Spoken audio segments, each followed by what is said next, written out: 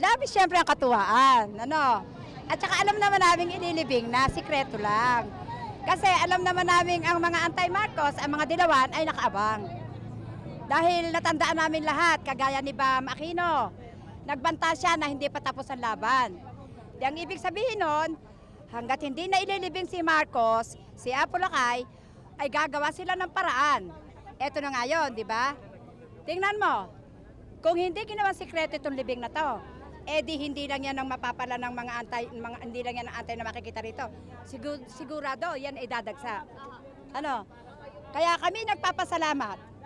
Maganda ang naging programa ng mga Marcos sa ngayon. Dahil nailibing siya ng maayos.